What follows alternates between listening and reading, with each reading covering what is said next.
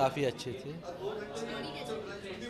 अलग थी और बहुत अच्छी थी। ओके एक्टिंग की बात करते किसने ज़्यादा इम्प्रेस किया? सबसे सभी की एक्टिंग अच्छी थी अपने अपने रोल के हिसाब से। वरुण की सुशांत की श्रद्धा की तीनों की अच्छी। थी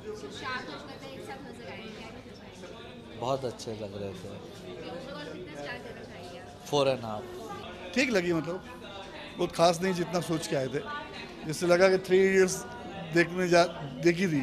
ऐसे लगे प्रोमो से देखा कि वैसे ही टाइप की बेस पे होगी। तो थ्री इयर्स पार्ट टू होगी। But totally different story actually Shraddha is good Sushant इतना क्लिक नहीं किया नहीं जमा। वरुण धवन इज़ क्लास वो नहीं होता तो पिक्चर पिट जाती। हैं ठीक है सॉन्ग्स तो हैं कोई खास नहीं है लेकिन music is good Pritam ji ने अच्छा म्यूज़िक दिया हुआ है। क्या लगा?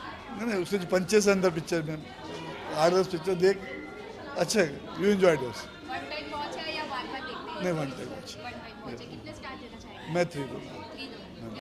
मूवी बहुत ही अच्छी है पैसा वसूल मूवी है। मूवी की जो कहानी कहते हैं कि थिएटर से मैच करती है ऐसा कुछ है क्या? नहीं नहीं बिल्कुल नहीं बिल्कुल।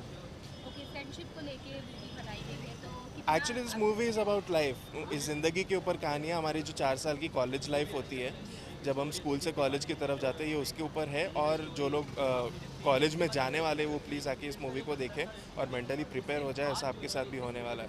कितना याद किया आपने बहुत मतलब एक एक एक चीज़ एक एक सीन जब मैं देख रहा था मैं अपने ये सब मेरे कॉलेज लाइफ से जुड़े हुए थे। मैं इनफैक्ट मेरे फ्रेंड कॉलेज फ्रेंड के साथ ही आया था। तो और श्रद्धा एक साथ नज़र आए हैं क्या कहना चाहिए जी जी केमिस्ट्री उनकी बहुत अच्छी रही है बहुत अच्छी परफॉर्मेंस भी उनकी रही है। तो बेस्ट डायलॉग कोई बोल के दिखा दीजिए। बेस्ट डायलॉग्स इसमें इतने सारे हैं कि मतलब ऐसे मैं चूज़ नहीं कर सकता बट काफ़ी सारे बेस्ट डायलॉग्स हैं इसमें।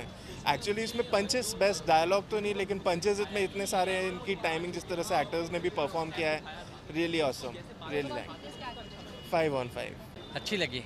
मूवी की कहानी की बात करें तो कहानी अच्छी है बजट फ़िल्म है लेकिन फिर भी अच्छी है।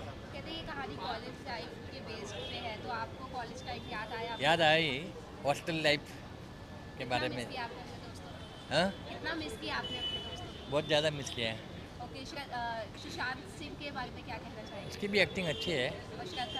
उसकी भी अच्छी है लेकिन ज़्यादा उन लोग से भी ज़्यादा वर, वरुण शर्मा है ना? वरुण शर्मा। फुकरे वाला ओके और मूवी के जो डायलॉग्स है वो कैसे थे? डायलॉग अच्छे है। कोई कोई डायलॉग थोड़े वल्गर भी है लेकिन ज़्यादा नहीं है लेकिन कॉमेडी अच्छी है सबकी। जी सॉन्ग्स की बात करें तो सॉन्ग्स जो लास्ट का जो गाना है ठीक है।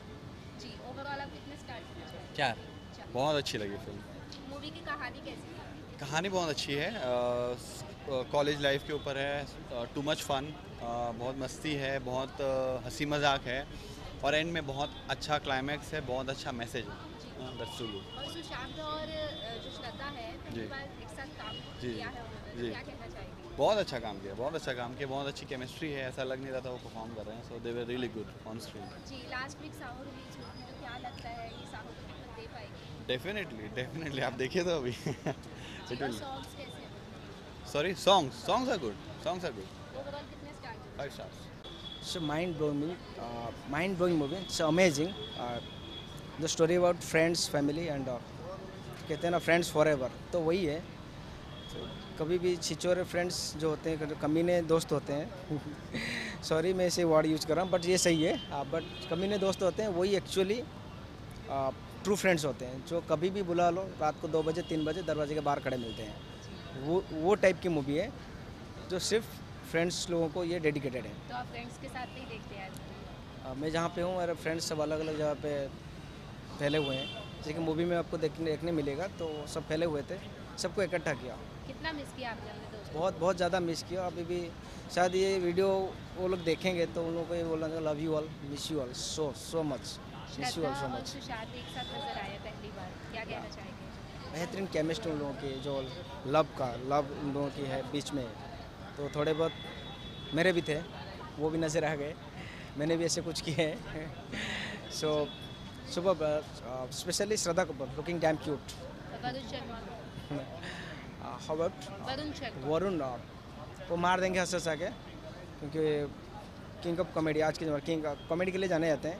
आपको मार देंगे हंस हंसा के जो ऐसे उनको ऐसे कैरेक्टर दिया गया जो परफेक्ट उन्होंने निभाया है वो कैरेक्टर को।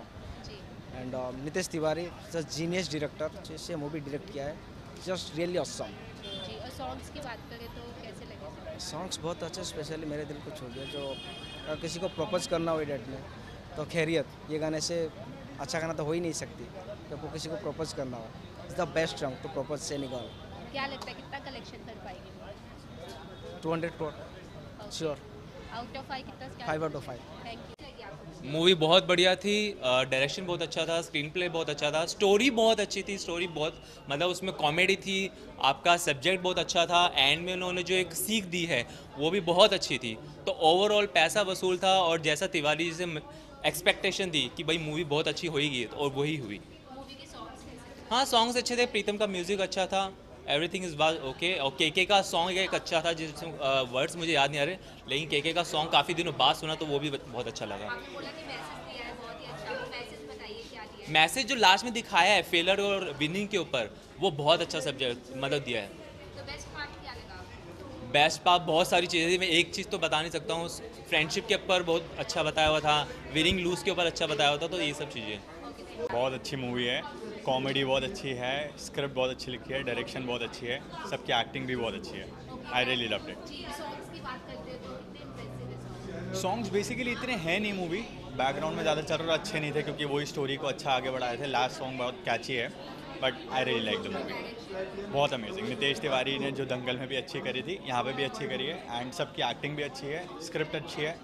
Nice movie must watch basically movie का मैसेज तो ये है कि आपको जो आजकल वो पेरेंटल प्रेशर इतना होता है स्टडीज़ और एजुकेशन को लेके वो साइड रख के आप बेसिकली अपनी चीज़ें भी कर सकते हैं तो इट्स अ नाइस मैसेज वाली मूवी सबको देखनी चाहिए पेरेंट्स को भी और आजकल के student out out of five I think I should give five only